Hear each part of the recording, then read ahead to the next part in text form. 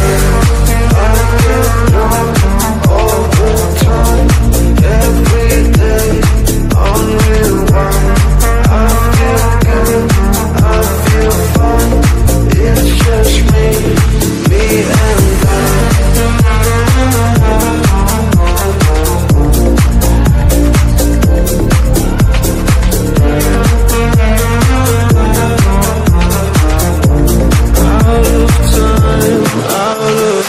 Before I thought I'd die I was feeling strong.